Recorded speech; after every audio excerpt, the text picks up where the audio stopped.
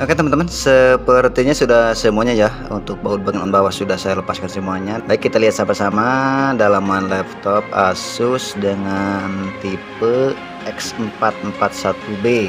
Dalamannya seperti apa? Saya juga belum tahu. Jadi mari kita lihat sama-sama. Semoga bisa menjadi edukasi, referensi atau informasi buat teman-teman di mana saja berada. Mari kita mulai Bismillahirrahmanirrahim.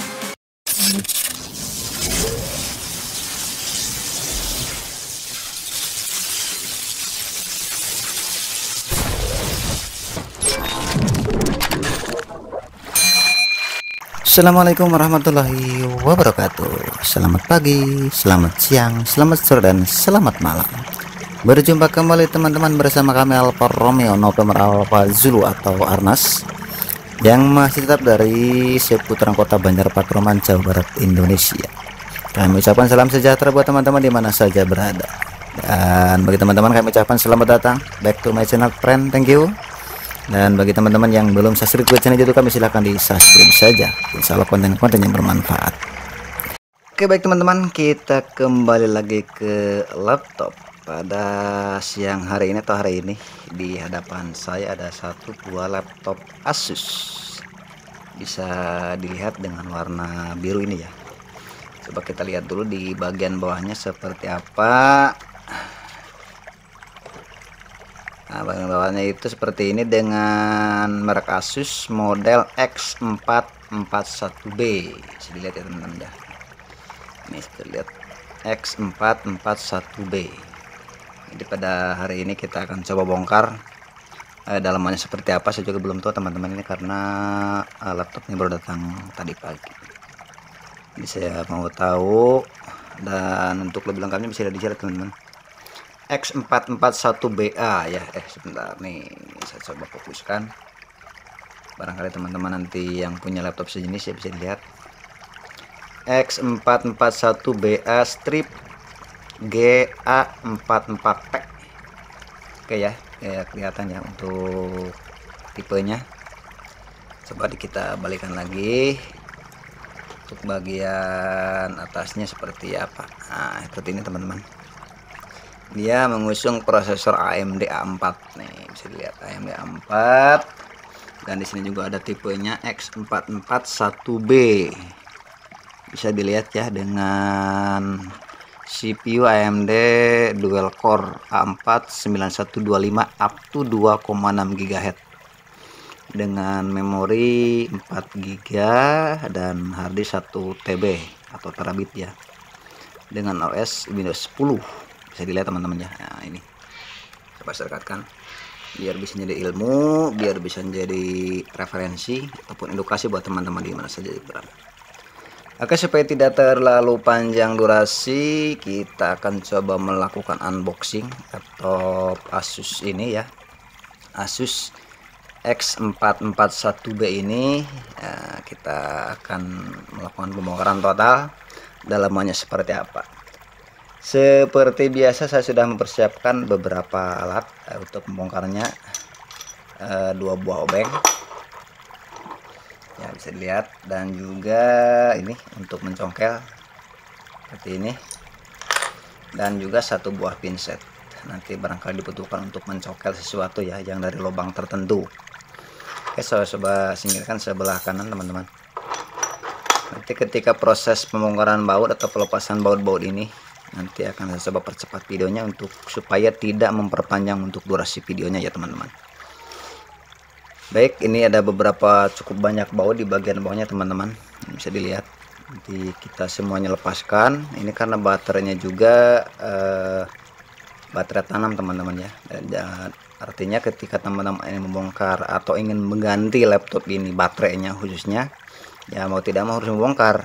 Begitu. Jadi eh, teman-teman eh, bisa mengikuti tutorial yang kami berikan. Silahkan diikuti dengan cermat dan teliti dan tentu saja dengan kehati-hatian yang tinggi ya teman-teman. Karena apalagi kalau untuk laptopnya punya orang lain Baik, supaya tidak terlalu memperpanjang durasi, jangan lupa di subscribe bagi yang belum subscribe dan tentu saja di komen bagi yang berkenan untuk komen. Silahkan kritik dan saran kami nantikan untuk perkembangan channel YouTube kami. Baik, kita mulai dari baut sebelah sini. Kita awali dengan ucapan Bismillahirrohmanirrohim.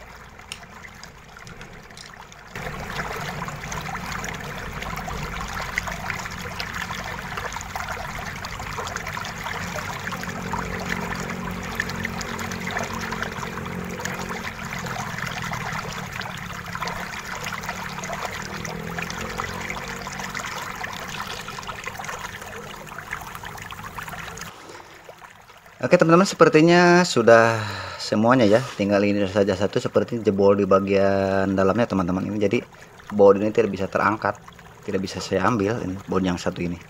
Sepertinya ini di bagian casingnya ini jebol ini sepertinya.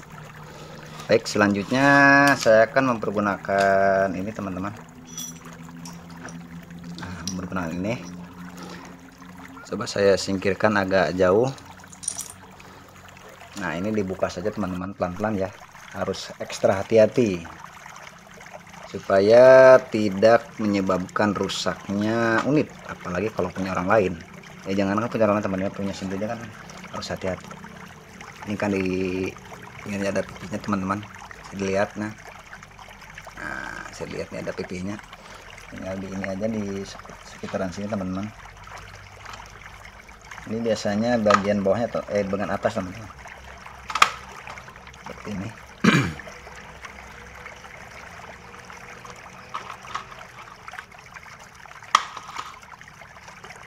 eh ah.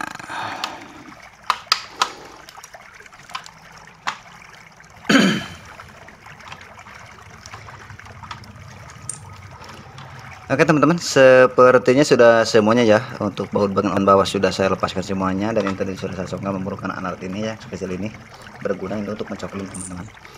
Baik kita lihat sama-sama dalaman laptop Asus dengan tipe X441B dalamannya seperti apa saya juga belum tahu. Jadi mari kita lihat sama-sama.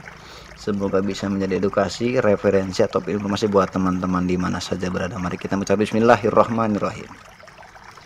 Seperti ini teman-teman dalamannya. Untuk laptop Asus ya.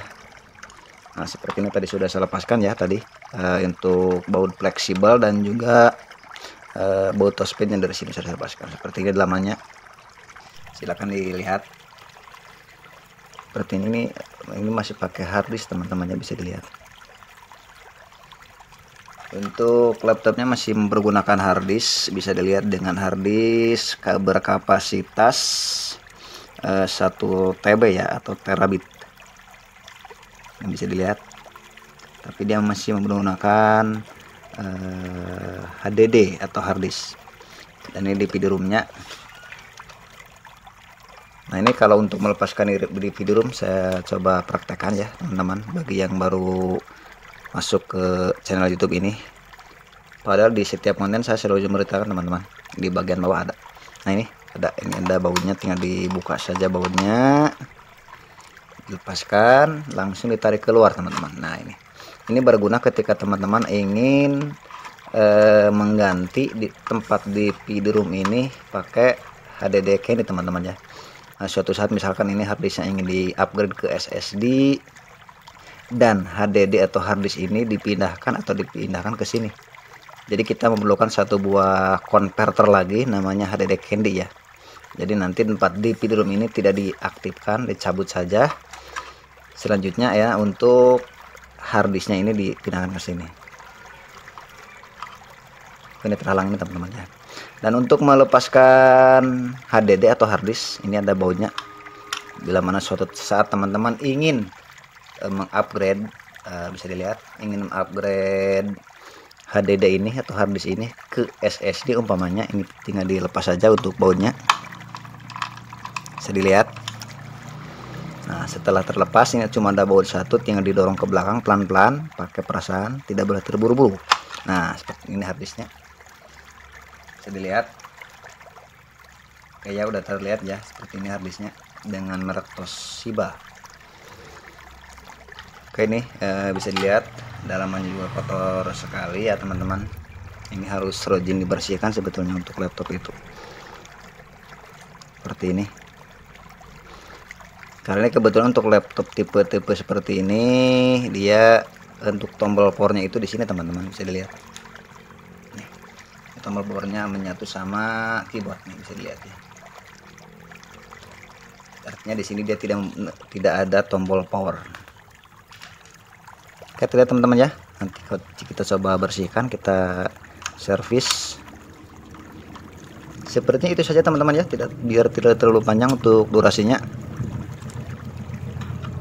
Karena kalau untuk membongkar uh, motorboard ini gampang teman-teman. Ini baut kan banyak ya. Ini baut ini juga baut yang dilepaskan saja satu persatu. Langsung kita angkat untuk uh, motorboardnya atau mesinnya.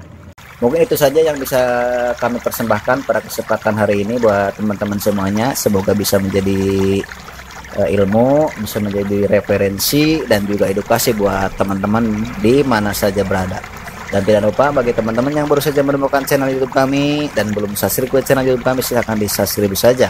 Insya Allah konten-konten yang ada di channel ini bermanfaat buat teman-teman di mana saja berada. Itu saja yang kami persemakan.